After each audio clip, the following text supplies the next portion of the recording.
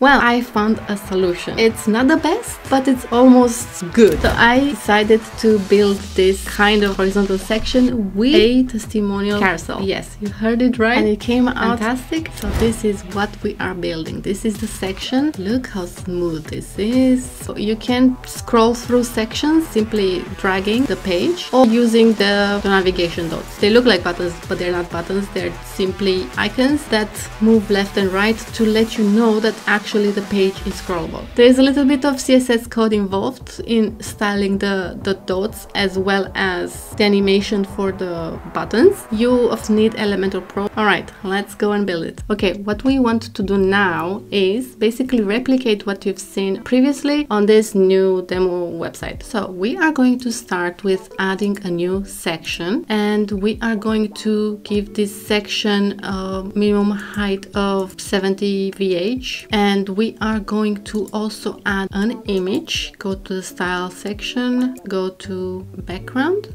and add an image. I will add this image. It doesn't matter what image, any image you want. And now let's set the position to center, attachment to fixed. So we have this scroll effect and no repeat as well as uh, size cover. All right, now that that is set, oh, why is the opacity? All right, that was very strange. Okay. I had to turn off the opacity. For some reason that was on. Anyway, okay, let's add another section. This time this section will have um, a minimum height of VH30 and a background color of black, simple as that. And we are going to be adding a heading and let's name this. Oh, case studies. All right, let's change the style because this is really ugly. And typography I will set it to Arial fat face love this font. And bring it up to 50 very nice. Very very nice. And I want to add also divider right underneath. And let's style it. Change the color to white. And I am also going to animate this so go to advanced and motion effects and under entrance animation I will change this to slide in left and animation duration to slow. Update and let's have a look. So far we are on the right track. The next step is actually adding the testimonial carousel section. So let's add a section. This time this section will be full width, a minimum height of 100 VH and let's style it and give it a color, uh, background color black as well. All right, now we can see everything that is going to happen in this section. Let's change the section's column position to top because we want the carousel to start at the top of this section and go all the way down because otherwise you will have that space on the top of the section and there's no way you can uh, get rid of it. Let's now add the testimonial carousel. There you go. Drag and drop it in there. As you can see, it is plain carousel and a very ugly one. what we are going to do now is update the page and start deleting basically everything that is in this slide.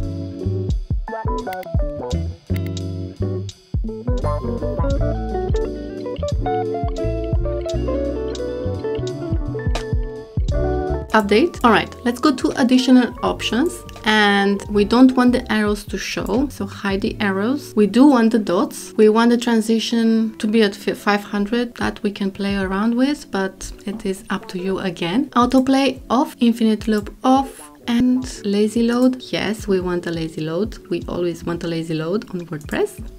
And now update. And let's move on to the next step where we are going to actually create the slides individually. And this will happen in the templates section of Elementor. All right, so let's go to back to our dashboard and to templates, go to save templates and add a new template and we are going to create a new template which we are going to set it as section because it's going to be part of a section. Name it whatever you want. I'm going to name it template one and let's create it. We are going to skip this. We don't have a template of our own but we are going to create one. So we are going to be adding a new section. This section will be full width and a minimum height of 100 VH. I think you're by now sick of this or basically you're getting used to it. and okay, let's call it section for the sake of it because we can, right? And column gap, don't forget, no gaps. I will also style it and I'm going to the style section of the section and give it a black background. And now we are going to be adding an inner section. Drag and drop an inner section here. We have to style this inner section as well as basically we are going to set it in the same way as we did with the main section. So this will be content width, full width, min height. Actually, min height, surprisingly, is not going to be 100 VH, it's going to be 55 VH. And everything else stays the same. And let's add an image. Can be any image you want. It is all up to you. I'm going to be adding this image. You can set it as you want. It is all up to you at this point. I also added a custom URL on the previous on the version that you have seen. So basically, if this is you show, showcasing website or your work, you can add a link to the work that you did, which will open in a separate page. But for now, we will leave it as none because this is all up to you. All right we can add a heading now. And let's add a text editor. Why are you doing this elementor? All right. And we can also add a button. And let's add another text editor right here underneath. All right and i will change the style to white color to white. Typography i will switch it to DM Sans and i will add size of 35 and leave it as it is. And also the text white white as well. I mean you don't have to do what i'm doing but it is up to you. But i just want to show what you can do what you can achieve. And let's add some more space top. Let's say 50 let's add another inner section. basically we can duplicate this section add another column here and we are going to keep this column empty because we want this space empty here. We're going to copy and paste this column,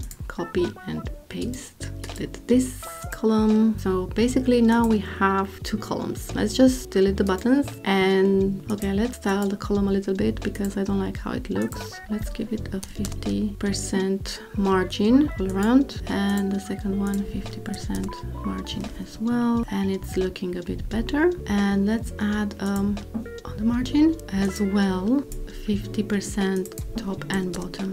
Have some space between sections and have more room to breathe. Let's also, let's give this inner section some space, top and bottom.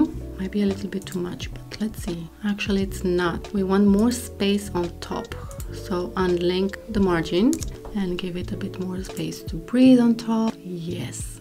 Just keep in mind, there will be some space from the previous section, if you can imagine that. So you will have the other section that we designed on the testimonial carousel page, the one that said case studies. So there is a bottom space. So keep that in mind. All right, and let's add another inner section. Let's duplicate this again and let's delete one column and only have two columns. In this case, I will also delete all the text in the second column because we don't need it. We want to have some images here. So I'm going to be adding an image. Let's see, let's add the same image. In the end, it's just a demonstration. Okay, right let's change the settings here. We don't want any space. This is starting to look great i love it. Also remove the gaps on this section. No gap that can have gaps that's fine. All right let's add another image right here. Again it's gonna be the same image. I know it's looking weird. Let's add another image here. Okay let's switch it up. Let's find another image let's upload a new one. Add this one. Keep in mind that when you're adding images you should convert them to webp because that's the best way to optimize your images for web nowadays. Okay and i'm going to leave it at this stage. Let me just give this image some space on top. Mark so 70 pixels margin top and let's hit publish. If you have the possibility to clone this slide, please do so because that's what I'm going to be doing. So I'm going to exit this and I'm going to create a clone because the settings will remain the same unless you want a different kind of layout in the end. So I will be hitting Happy Clone. This is an option if you have Happy add-ons installed. So I have Happy add-ons installed here for this purpose and let's edit the name we want to change the name of this slide and just delete that part, publish, and we wanted to edit it with Elementor. The only thing we're gonna do is just change the pictures because we want to see the difference between the two slides. So I will just add another image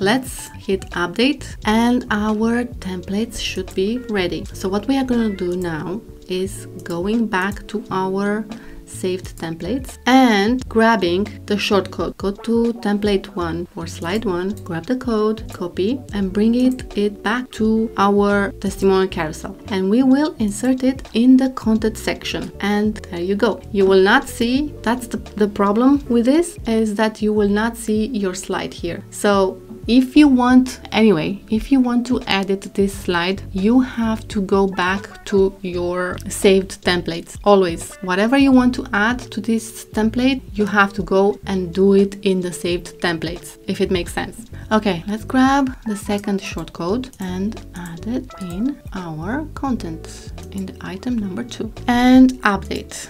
All right, let's view the page. And there you go. This is it. And you can slide it and it's working. The problem is that we cannot see the dots I only presume, I don't remember if the dots are black, but I think they are. So what we are going to do is add a little bit of code, CSS code. We are going to add a CSS code in the template carousel, custom CSS section. All right, there you go.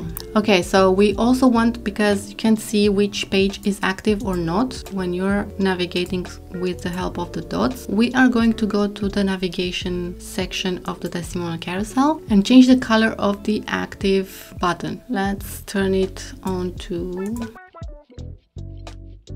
it's working. Let's also see our page. Scrolling, scrolling, scrolling, and here we are. And you can simply switch between pages. I think it's very smooth and it's very nice. Okay, for the navigation buttons or the so-called navigation buttons that show you the direction that you should scroll, what you can do is simply add a section and style this section background black so it blends in. And what I did, I simply have given it overflow hidden. Okay, so what I will do is simply style this. I will only design one. I will style only one button, button, and then I will duplicate it. So let's add an, an, icon. Let's go to the library and look for a chevron. This would do. And now change the view of the icon to framed and then circle is fine. Let's change the colors, white and black. For some reason it changed the icon and I think it might be